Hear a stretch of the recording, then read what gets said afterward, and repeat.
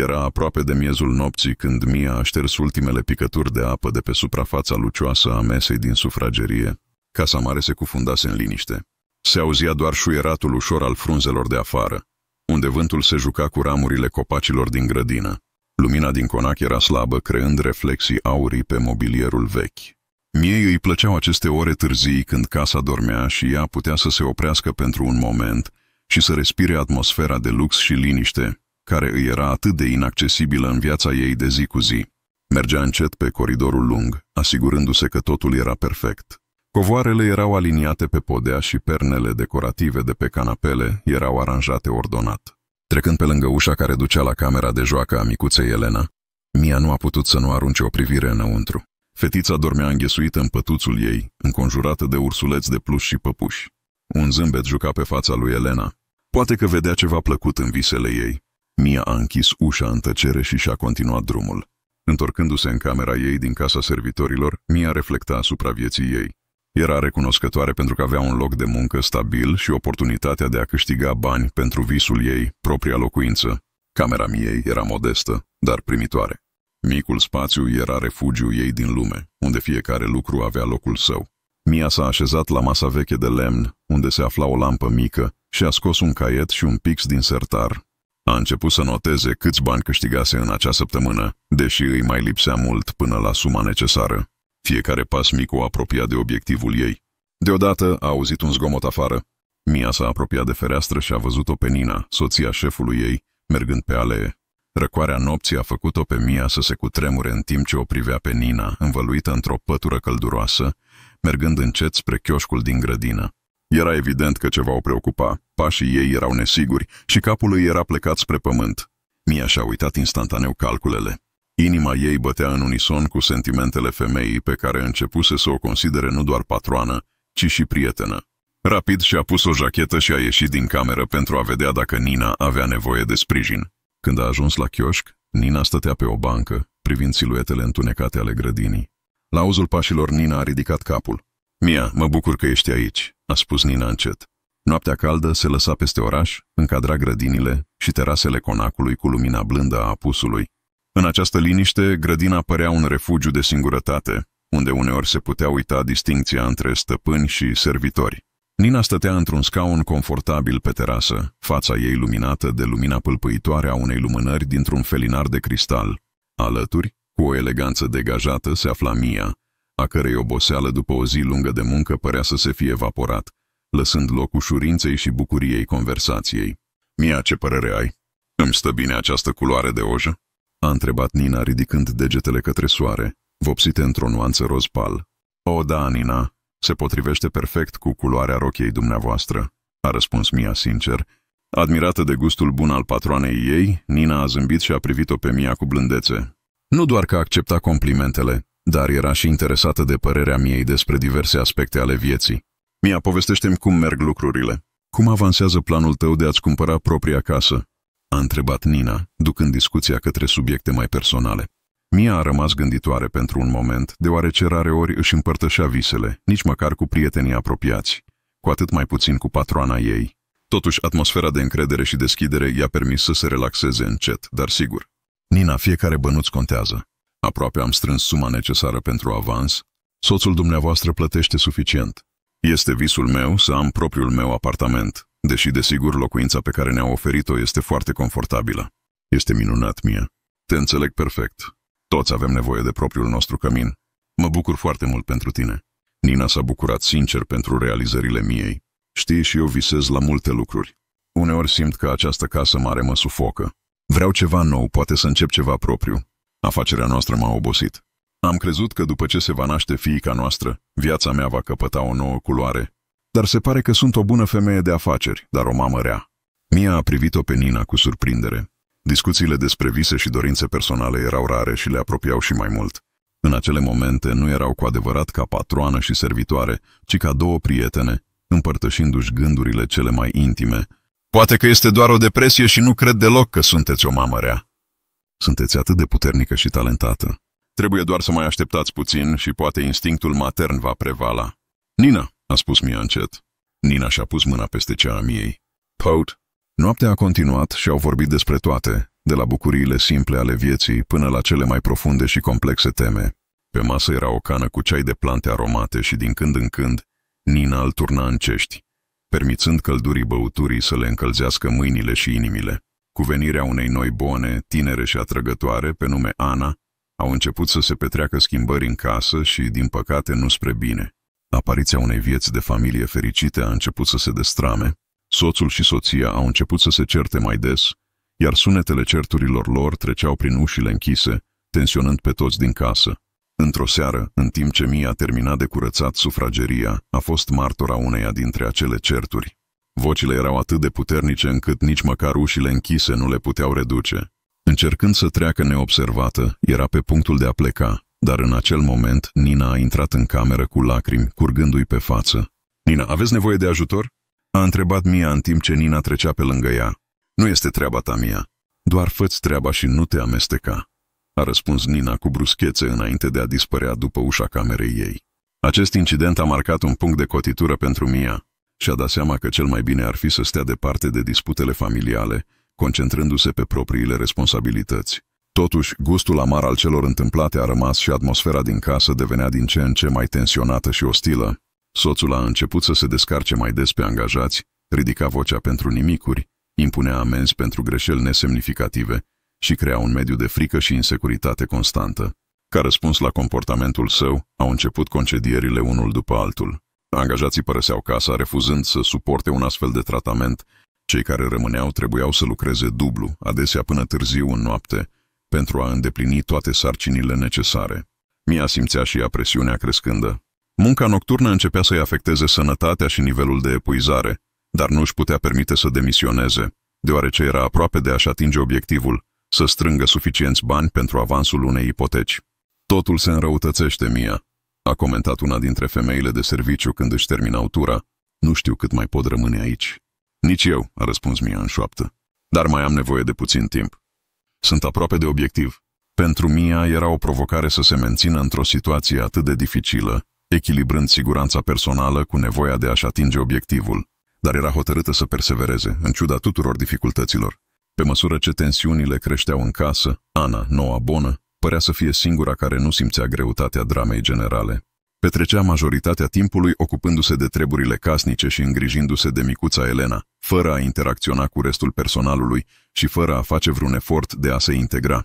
Comportamentul ei distant crea în jurul ei o aură de inaccesibilitate, iar mulți dintre servitori au observat că Ana se comporta de parcă ar fi fost deasupra tuturor. Nina, obosită de certurile interminabile și conflictele cu soțul ei, se simțea din ce în ce mai prinsă și limitată în acțiunile ei. Odată atât de elegantă și plină de viață, acum Mia o vedea adesea în stare de ebrietate, încă de la prânz, pierdută în gânduri întunecate, cu un pahar în mână. Interesul ei pentru propria fiică și pentru casă părea complet pierdut și toate responsabilitățile materne cădeau pe umerii Anei. Tensiunea din casă a atins punctul culminant într-o noapte ploioasă când, după o altă ceartă, soțul a ridicat mâna asupra lui Nina. Ea, fără să stea pe gânduri, și-a adunat câteva lucruri, a chemat șoferul și a părăsit casa. Soțului părea să nu-i pese, nici măcar nu a încercat să o oprească. Mia era nedumerită de această situație, deoarece în casă rămânea o fetiță mică și nu era clar unde plecase mama ei și când se va întoarce. De atunci, soțul a devenit și mai irascibil și exigent.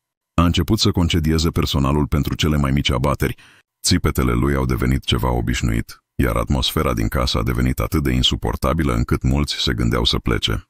Dar pentru mine nu era nicio opțiune. Era atât de aproape de obiectivul său încât fiecare zi petrecută în acea casă era o probă de rezistență pentru ea. Nopțile au devenit un timp de reflexie pentru Mia.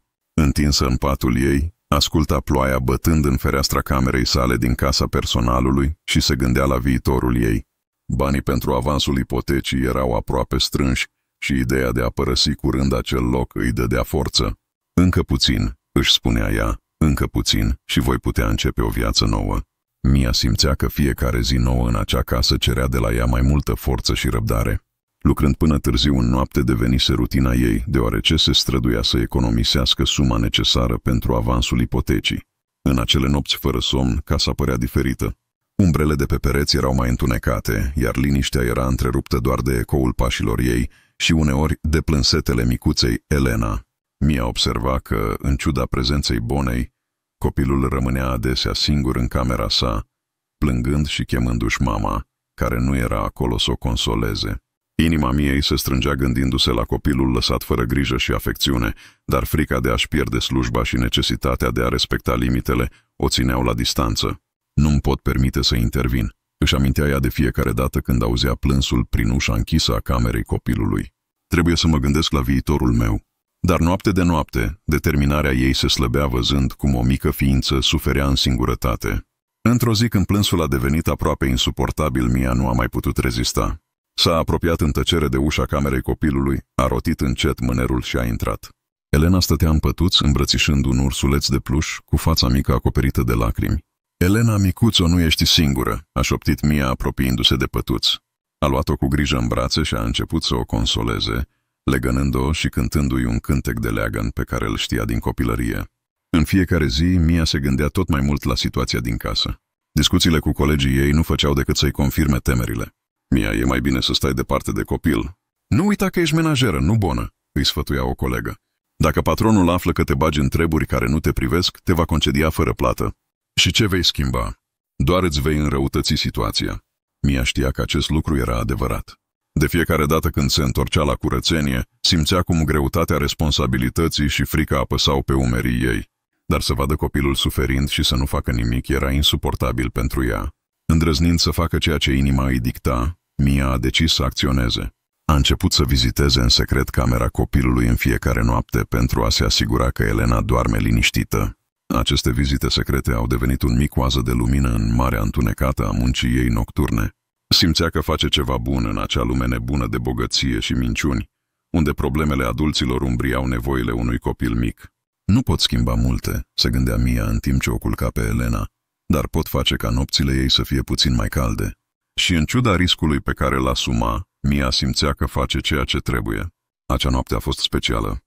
Soțul organizase o petrecere care a durat până târziu în noapte, iar pentru dimineață casa trebuia să fie impecabilă, ca și cum nimic nu s-ar fi întâmplat.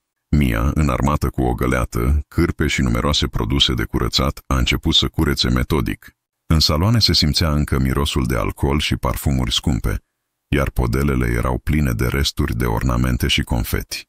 În timp ce Mia își făcea treaba, sunetele petrecerii se stingeau treptat și în casă domnea liniștea, întreruptă doar de zgomotul ocazional de pe stradă. Cu toate acestea, acea liniște a fost brusc întreruptă de plânsul puternic al micuței Elena care venea din camera copilului. Mia a încercat să ignore plânsul, deoarece trebuia să termine curățenia, dar instinctul ei matern a prevalat. A lăsat găleata cu apă și a deschis ușor ușa camerei copilului. Acolo, în penumbra luminată doar de o lampă de noapte în formă de stea, Elena stătea în pătuț plângând în singurătate. Nu era nici urmă de tatăl ei sau de Bona, care ar fi trebuit să aibă grijă de ea. Mia s-a apropiat de pătuț, a ridicat cu grijă copilul și a liniștit-o, dându-i suzeta care îi căzuse. Elena s-a calmat treptat, ghemuindu-se în brațele Miei și curând a închis ochii din nou. După ce copilul a adormit, Mia, plină de furie față de Bonă și perplexă de irresponsabilitatea ei, a decis să o caute pe Ana și să înțeleagă ce se întâmplă. A parcurs mai mulți coridoare în tăcere, ascultând din spatele ușii uneia dintre camerele de oaspeți. Se auzeau gemete și mișcări acolo, aparent Bona și stăpânul casei se distrau. Mia s-a lipit de perete, simțind cum inima îi bătea de furie și neputință. Nu putea să intervină, deoarece asta ar putea să o coste slujba, dar a recunoscut clar vocea tinerei Bone. Mia s-a întors în camera copilului pentru a se asigura încă o dată că Elena este bine. Confirmând că copilul dormea profund, a ieșit și a continuat curățenia. A lucrat restul nopții curățând rămășițele petrecerii, care acum îi păreau și mai absurde și fără sens. Când primele raze de lumină ale dimineții au pătruns prin ferestre, casa strălucea de curățenie.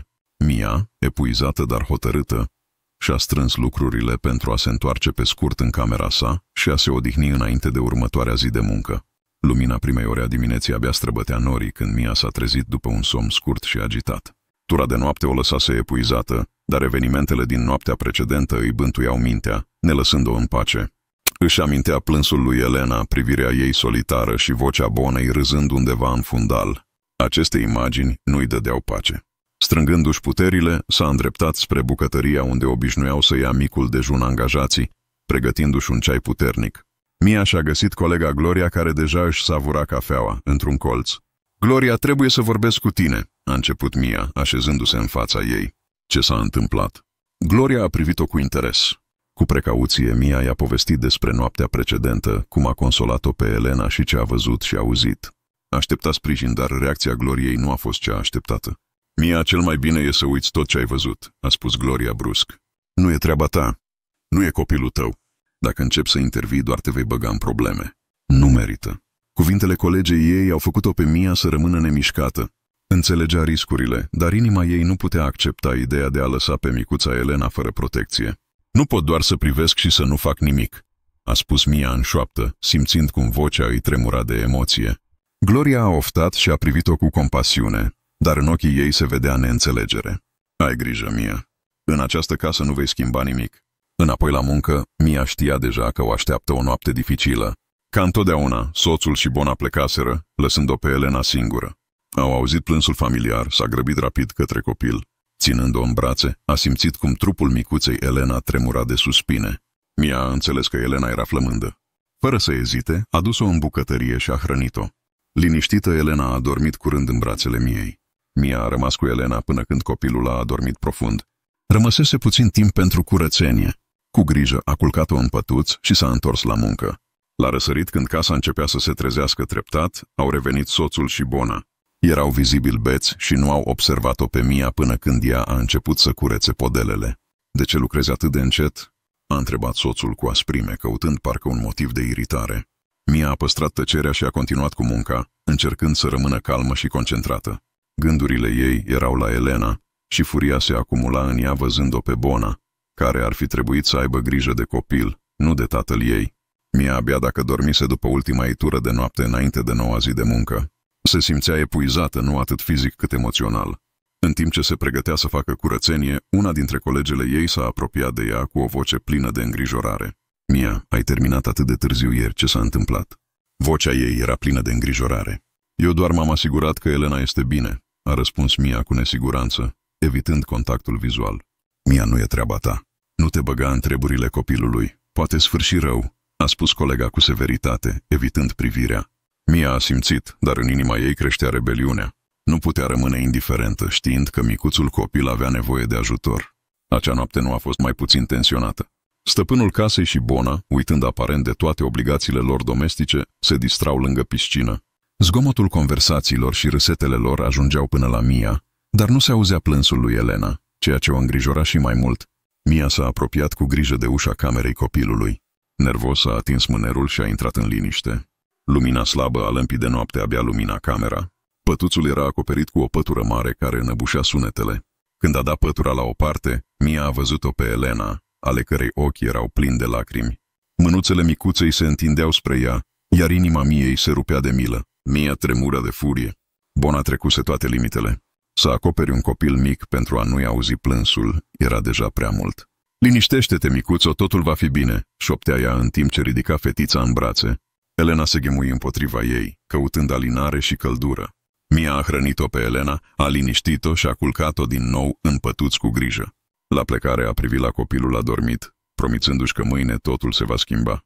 La întoarcerea în casa principală, Mia a continuat curățenia. Vocile îmbătate ale stăpânului și bonei se stingeau și în curând au revenit în casă. Ce faci aici toată noaptea?" Lucrezi atât de încet ca un melc," a comentat stăpânul când a văzut-o. Mia doar a dat din cap, înghițindu-și amărăciunea cuvintelor și încercând să se concentreze pe sarcina ei. Când zgomotul pașilor lor s-a îndepărtat, a suspinat ușurată și a continuat să lucreze. Noaptea a fost fără somn. În ciuda oboselii, gândurile ei se învârteau în jurul lui Elena și situației ei neajutorate în acea casă imensă și rece. La răsărit, se simțea epuizată, dar determinarea ei ardea mai puternic ca niciodată. Știa că trebuie să facă ceva pentru a proteja copilul mic, în ciuda riscurilor pentru ea însăși. De îndată ce Mia s-a asigurat că Bona era singură în bucătărie, a intrat, pregătindu-se pentru o conversație neplăcută. Ana, nu pot să o tratezi pe Elena așa. E doar un copil. Vocea miei tremura de furie și nervozitate. Măcar fă un efort să-ți faci treaba, altfel copilul poate fi rănit. Ana, neașteptat de calmă și sigură pe ea, doar a râs cu dispreț. Mia, nu te băga în ce nu te privește. Dacă vreau, nu vei rezista aici nici măcar o zi în plus. Și nu-ți face griji pentru copil. Curând voi ocupa locul doamnei casei și primul lucru pe care îl voi face va fi să o trimit la orfelinat. Aceste cuvinte au lovit-o pe Mia ca un cuțit. Furioasă abia și-a putut stăpâni lacrimile. Ana a luat o farfurie cu resturi de mic dejun și, fără să gândească, i-a aruncat-o Miei. Farfuria s-a spart pe podea lângă picioarele Miei, făcându-se țândări. Curăță asta și nu-ți băga nasul în treburile altora, a spus Ana rece, ieșind din bucătărie. Mia a rămas acolo uimită și singură în furia ei neputincioasă. În adâncul sufletului, știa că a se adresa stăpânului casei era inutil. Lacrimile de amărăciune și neputință i-au umplut pentru scurt timp ochii, dar le-a șters rapid. A început să curețe, încercând să se concentreze pe muncă pentru a se distrage de la gândurile întunecate. După amiază, când stăpânul casei s-a trezit în sfârșit după somnul său lung de după petrecere, Bona, deja trează și de parcă ar fi uitat de distracțiile nocturne, s-a grăbit să-i povestească ce s-a întâmplat. Dragă menajera ta mia mi-a strigat azi dimineață. A început ea cu falsitate și mereu încearcă să se bage în treburile lui Elena. În plus, cred că fură din casă. Stăpânul, abia ascunzându-și iritarea, a chemat-o pe Mia. Mia, am auzit că faci probleme. Termină-ți treaba și dispar din casă. Și nu te gândi să pleci înainte ca totul să fie curat. Nu vei vedea niciun cent din salariul tău pe luna asta. Vocea lui era dură și nemiloasă. Mia a rămas în fața lui, ascultându-i cuvintele care sunau ca o sentință. A simțit un fior pe șira spinării. Cu toate acestea, în adâncul sufletului ei se gândea doar la copil. Mia s-a așezat la masa din sufragerie cu celelalte menajere. Posomorâtă și distantă, a împărtășit cu ele vestea concedierii sale, iar colega ei, care întotdeauna o avertizase să nu intervină prea mult, doar a suspinat greu. Ți-am spus, Mia. Era inevitabil, a spus Irina cu voce de regret. Știu, a răspuns Mia încet, dar nu puteam să văd cum suferea acel copil mic. Gândurile ei erau doar la Elena. Inima îi era plină de îngrijorare pentru micuță în fiecare secundă. Când a ieșit la ultima ei tură, invitații deja începeau să sosească pentru următoarea petrecere. Muzica deja răsuna afară și distracția era în plină desfășurare, dar nimeni nu se gândea la copilul mic lăsat nesupravegheat. Mia făcea curat la etajul al doilea când, prin zgomotul petrecerii, a auzit plânsul familiar al lui Elena. Inima i s-a strâns, a lăsat cârpa și găleata și s-a îndreptat către camera copilului. Acolo, în penumbră, a găsit-o pe Elena în pătuț. Ochii copilului erau plini de lacrimi. Mia a ridicat-o pe Elena în brațe, iar micuța a îmbrățișat-o imediat de gât. Calmând copilul, a simțit că Elena i-a zâmbit pentru prima dată printre lacrimi. Acest moment i-a topit inima Miei. A înțeles că nu putea să o lase pe Elena în acel haos. În acel moment, Mia a decis să acționeze rapid. A strâns câteva lucruri ale lui Elena, le-a pus într-o geantă, a luat copilul în brațe și a ieșit în liniște din casă pe ușa din spate. Copilul nu s-a opus, privea totul cu curiozitate. Mia a chemat un taxi și s-a îndreptat direct către cel mai apropiat hotel. După ce a hrănit-o pe Elena și a culcat-o în patul camerei de hotel, Mia s-a așezat pe marginea patului și s-a uitat în jur. Somnul liniștit al lui Elena contrasta cu furtuna de emoții care îi agitau mintea miei. Înțelegea că a făcut ceva ce ar putea fi considerat răpire. De fapt, asta era ceea ce făcuse. Mia s-a îngrozit. Așezată în liniștea camerei, încerca să se gândească la următorii ei pași. O așteptau multe probleme, consecințele legale ale acțiunilor sale, posibilitatea unei urmăriri penale și necesitatea de a o proteja pe Elena de o posibilă întoarcere în casa unde nu era dorită. Totul îi învârtea în minte ca un vârtej și doar somnul putea să-l oprească. Mia s-a așezat în colțul micii camere de hotel, uitându-se la Elena adormită. Razele slabe ale soarelui de dimineață se strecurau printre perdele, luminând colțul liniștit unde copilul găsise un refugiu temporar. Dar pentru Mia dimineața nu aducea calmul obișnuit. Venea cu greutatea deciziilor urgente. Cu mare efort, încercând să-și controleze panica, a format numărul colegei sale, care trebuia să fie la postul ei de muncă. Apelul a spart liniștea și după câteva tonuri s-a auzit un răspuns la celălalt capăt. Irene, sunt eu, Mia. Am făcut-o. Am luat-o pe Elena din casă. A început ea încet, încercând să-și păstreze calmul. Mia, ce ai făcut? Trebuie să aduci copilul imediat înapoi. Poliția este peste tot. Te vor găsi și te vor băga la închisoare. Irena era clar în șoc și vocea ei tremura de indignare și frică. Irina, înțeleg ce spui, dar deja este prea târziu. Sunt deja în probleme și nu pot pur și simplu să o returnez. Nu o îngrijau. Trebuie să fac ceva pentru a o ajuta pe Elena. Bine mie. Voi căuta numărul de telefon al lui Nina. Ea este mama ei. Trebuie să o sun și să-i spui totul. Poate că ea te poate ajuta. Voi încerca să-l găsesc în agenda mea, dar trebuie să fii foarte atentă. Irena a promis să ajute, deși vocea ei încă tremura de nervozitate. În timp ce Irena căuta numărul, Mia s-a așezat lângă Elena, încercând să-și limpezească gândurile. Curând telefonul a sunat din nou. Am găsit numărul. Ți-l voi trimite acum. Ai grijă. Irena a fost scurtă. De îndată ce Mia a primit mesajul, a format imediat numărul lui Nina. Între timp în casă, poliția deja a începuse investigația. Ofițerii o interogau pe Bonă, care se prefăcea că este supărată, dar ochii ei reci și privirea plictisită îi trădau indiferența față de ceea ce se întâmpla. Mașinile de poliție s-au oprit în fața hotelului unde se ascundea Mia. Cu ele au venit stăpânul casei și Bona. Amândoi păreau îngrijorați, dar în moduri diferite. Bona arăta o îngrijorare activă, luând-o pe Elena în brațe și îmbrățișând-o ca și cum tot acest timp ar fi fost preocupată de ea. Copilul nu voia să meargă cu Bona, plângea și se opunea. Stăpânul, pe de altă parte, era vizibil furios și abia își putea stăpâni furia.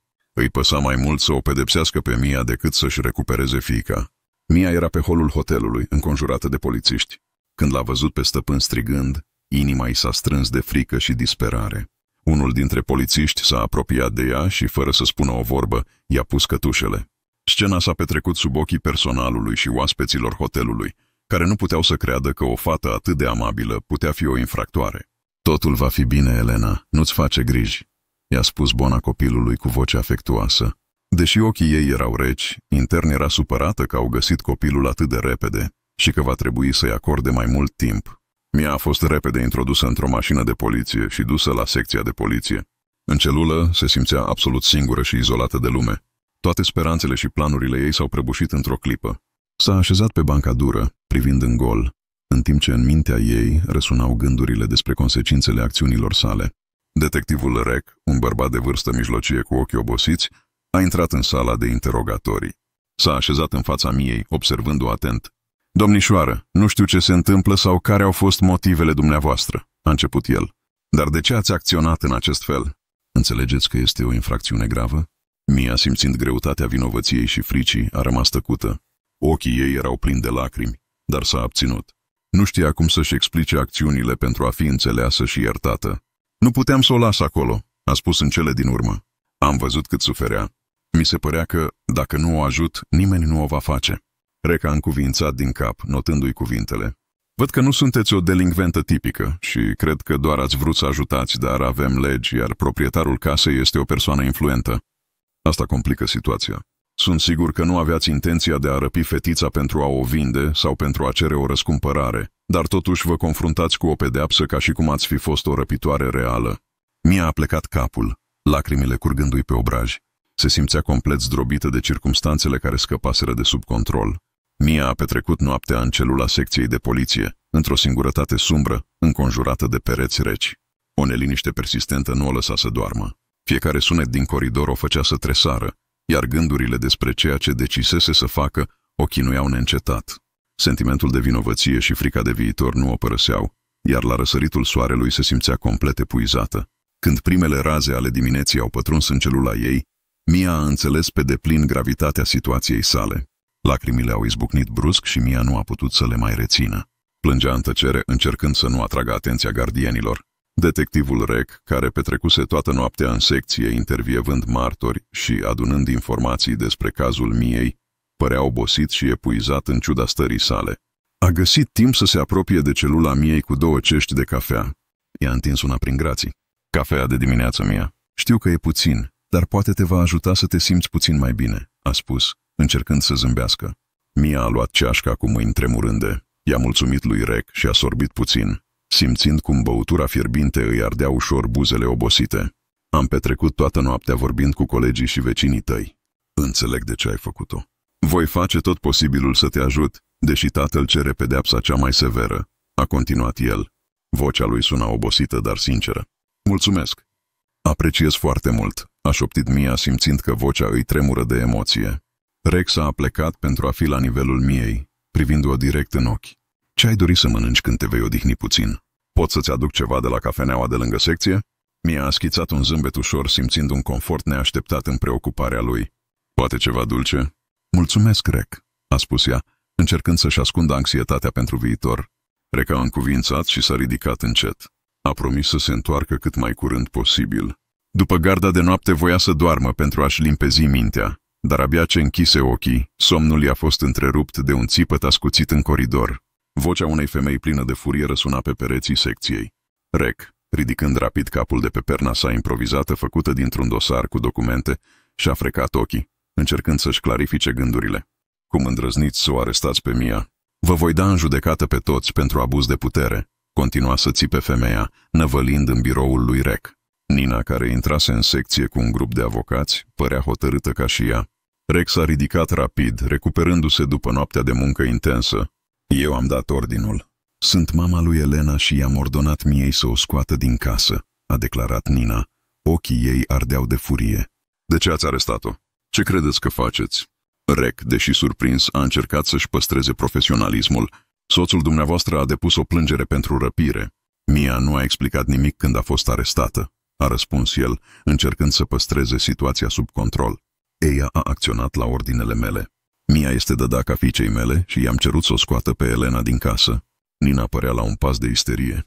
Cuvintele ei erau clare și hotărâte, dar nu erau adevărate. Nina aflase despre ce se întâmplase după ce unul dintre colegii miei reușise să o contacteze. Rec ascultă atent.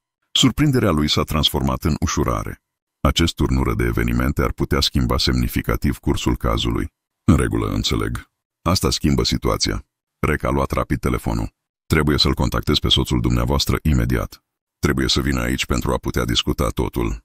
Rec a format numărul tatălui, explicând situația și cerându-i prezența imediată la secție. În timp ce vorbea la telefon, Nina și avocații așteptau tensionați deoparte. Voi face tot posibilul să rezolv această situație, a asigurat Rec când a închis telefonul. Vom reevalua acuzațiile împotriva miei, ținând cont de informațiile dumneavoastră. Nina a încuvințat din cap. Privirea ei s-a înmuiat, dar încă lăsa clar cine era în control. Când Mia a ieșit din secție, soarele strălucea, promițând o nouă zi și noi începuturi. Detectivul Rec a însoțit-o până la ieșire, zâmbind și spunând că era bucuros de deznodământul fericit. Mia i-a întors zâmbetul și, pe jumătate în glumă, pe jumătate serios, I-a spus că dacă vrea să o contacteze, numărul ei de telefon este în dosarul ei personal. Amândoi au râs, iar Rec era pe punctul de a răspunde când un țipăt puternic dintr-o mașină luxoasă l-a întrerupt. Era Nina, care flutura energic mâna și striga ca Mia să se grăbească. Mia s-a apropiat rapid de mașină și s-a urcat. Primul lucru pe care l-a întrebat a fost despre Elena. Elena este bine, acum este sub îngrijire, a liniștit-o Nina. Mia a oftat ușurată, dar curând a încruntat, amintindu-și de fetița abandonată. De ce ai lăsat-o?" a întrebat Mia cu severitate. Nina a oftat privirea ei, a devenit serioasă și tristă. Când soțul meu a început să mă înșele cu toate, mi-am dat seama că vrea să divorțeze și să păstreze afacerea noastră. Trebuia să acționez pentru a proteja ceea ce mi-aparține, a explicat Nina. Îmi pare rău că a ieșit așa. Speram să rezolv rapid, fără să știu că va concedia toate bonele, cu excepția amantei sale. Mi ascultă, încercând să o înțeleagă. Ce vei face acum?" a întrebat după o pauză. Mă așteaptă un proces de divorț complicat. Soțul meu vrea să ia totul, chiar și ceea ce nu-i aparține. Va fi un adevărat război, dar am reușit să-l fac să plece din casă, pe care, apropo, am cumpărat-o cu banii mei, deci nu vei mai vedea idiotul meu de soț. Am nevoie de o dădacă de încredere pentru fica mea. Nina a privit-o pe Mia cu speranță. Ai accepta?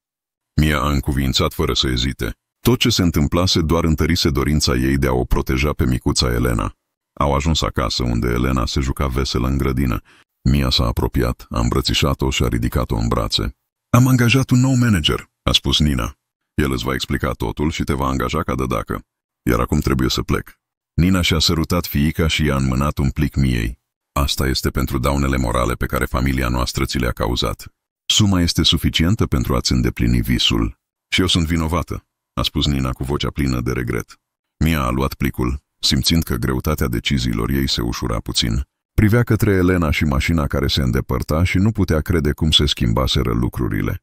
Nu a avut timp să se gândească mult la viitor când a auzit o voce familiară în spatele ei. Când s-a întors, și-a văzut colega care zâmbea și se apropia de ea. Mia, mă bucur atât de mult că totul s-a terminat cu bine, a spus, îmbrățișând-o cu putere. Datorită ție am reușit să o contactez pe Nina. Știi cât de mult a însemnat asta pentru mine?" A răspuns Mia, simțind lacrimi de recunoștință în ochi. Ambele femei au râs conștiente că poate cele mai grele încercări trecuseră deja. S-au îndreptat către bucătărie pentru a bea un ceai și a discuta despre ultimele evenimente. Nina are angajat o parte din personalul concediat, a spus în timp ce turna ceaiul în cești. Iar dădaca care, bine știi tu, cu șeful, a fost concediată. Nimeni nu a mai văzut-o de atunci. Presupun că acum avem o nouă dădacă, nu-i așa? Mia a zâmbit. În curtea din spatele casei mari, care deja devenise un cămin, Mia o împingea pe Elena pe leagăne. Aerul era plin de căldura unei dimineți de vară și în jur domnea o liniște calmă, un lux rar după toate tulburările din ultimele luni.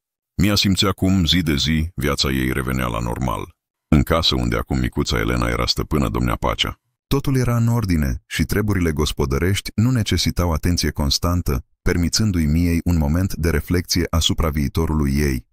Așezată pe o bancă lângă leagăne, Mia răsfoia anunțuri de vânzare de apartamente pe telefonul ei. Datorită generozității lui Nina, acum avea suficiente fonduri nu doar pentru avans, ci și pentru a-și permite să cumpere un apartament cu banii jos. Visul de a avea propriul său loc, care părea atât de îndepărtat și imposibil, deodată devenea realitate. Deodată sunetul unei mașini care se apropia a spart liniștea. Mia a ridicat privirea și a văzut o mașină sosind la casă. Reca a ieșit din mașină, ținând în mână un buchet de flori strălucitoare. Vizita lui nu era neașteptată. Fuseseră în contact frecvent de când Mia petrecuse acea noapte la secția de poliție. Mia a chemat-o din casă pe a doua dădacă, care acum ajuta la îngrijirea casei și a lui Elena. După o explicație scurtă că se va întoarce curând și câteva sărutări tandre pentru draga ei Elena, Mia a ieșit în grabă cu geanta în mână. Reca a întâmpinat-o cu un zâmbet, întinzându-i buchetul. Acestea sunt pentru tine. Sper să-ți placă, a spus el cu ochii strălucind de bucurie. Sunt minunate, Rec. Mulțumesc. Mia a luat florile și amândoi au schimbat zâmbete calde. Rec a pornit mașina și au plecat lăsând casa în urmă. Soarele de seară lumina străzile în timp ce Mia și Rec conduceau prin oraș. Mia era plină de entuziasm și nu a putut să nu-și împărtășească planurile pentru viitor. Am găsit un apartament grozav, a început ea, emoționată. Și deja mi-am imaginat totul. Cum va arăta fiecare cameră, ce tapet am ales? Chiar am ales deja mobilă. În sufragerie va fi o canapea mare și confortabilă și eu. Leaș Mia enumera fiecare detaliu, fiecare piesă de mobilier pe care o alesese deja în imaginația ei. Rec asculta în tăcere, zâmbind și dând din cap, admirându-i entuziasmul și cum îi străluceau ochii când vorbea despre planurile ei. Abia putea să spună o vorbă, dar asta nu-l deranja deloc. Îi plăcea să-i observe fericirea și visele. După o oră de discuții neîntrerupte, Mia și-a dat brusc seama că nu-l lăsase pe Rec să spună nimic. A râs, privindu-l cu ușoară jenă. O, Doamne, m-am entuziasmat prea mult. Îmi pare rău. Ți-am vorbit fără oprire. Tu cum ești? Ce mai e nou? A întrebat ea în cele din urmă, oferindu-i ocazia să vorbească. Rec a zâmbit, înțelegându-i emoția și bucuria. Sunt bine, mulțumesc. Apropo, acum câteva zile unul dintre colegii mei mi-a povestit noutăți despre Nina. L-a dat în judecată pe soțul ei pentru fraudă. Acum este căutat, a împărtășit el. Ei bine, merită din plin, a exclamat Mia. Vocea ei sună hotărâtă. După tot ce a făcut, asta este doar dreptate. Rec a privit-o surprins, ochii lui fiind plini de curiozitate și un ușor mirare. Știi, Mia, nu mă gândeam că o fată atât de dulce ar putea fi atât de răzbunătoare, a spus el zâmbind. Mia a râs în răspuns. O, Rec, nu sunt răzbunătoare, doar cred în dreptate, a răspuns ea, iar ochii i-au strălucit din nou de râs. Mia stătea lângă Rec în mașina lui, plină de anticipare. El spusese că noaptea va fi specială, dar nu dezvăluise detalii. Când au ajuns, au dat peste o priveliște impresionantă, un loc retras cu vedere la un lac înconjurat de dealuri verzi. Rec a ajutat-o pe Mia să iasă din mașină și s-au îndreptat spre o masă deja pregătită în aer liber. S-au așezat, iar Rec i-a luat mâinile între ale lui. A respirat adânc, ca și cum s-ar fi pregătit pentru ceva important. Mia, nu ne cunoaștem de mult timp și poate mă grăbesc, a început el. Vocea îi tremura de emoție. Dar vreau să devii soția mea. Din prima zi în care te-am văzut am știut că ești tu. Lacrimile de surpriză și bucurie au umplut ochii miei. L-a privit în ochi, văzând în ei sinceritate și iubire. Da, rec, accept, a șoptit ea și s-au îmbrățișat, urmat de un sărut lung și tandru. Au trecut câteva luni după ce Nina a câștigat toate procesele. Mia și Rec au ajuns la casa ei din curte. Nina stătea într-un scaun confortabil, bucurându-se de liniștea căminului său. Bună, Nina!" a exclamat Mia când s-au apropiat. Bună, cum sunteți?" a întrebat Nina vesel. Mia a întrebat de Elena, la care Nina a răspuns că fetița dormea și le-a cerut să nu facă zgomot. Se odihnește, veți avea timp să vă jucați cu ea când se trezește, a zâmbit Nina. Conversația s-a concentrat în jurul vieții și planurilor. Reca a anunțat că plănuiau nunta. Mia a adăugat că Nina era invitată ca invitat de onoare. Cu mare plăcere voi participa, a acceptat Nina zâmbind. Mia a menționat că după renovarea noului apartament și nunta, după luna de miere, ar putea să-și reia funcțiile de dădacă dacă Nina dorea. Nu, Mia, a spus Nina luând un pahar. Acum că nu mai am probleme, mă voi ocupa eu însă de creșterea fiicei mele. Voi încerca să fiu o mamă bună. Și tu nu ar trebui să întârzi să devii mamă cât de curând, a adăugat ea, făcându-i cu ochiul lui Rec. Acesta s-a înecat cu ceaiul la sugestia neașteptată.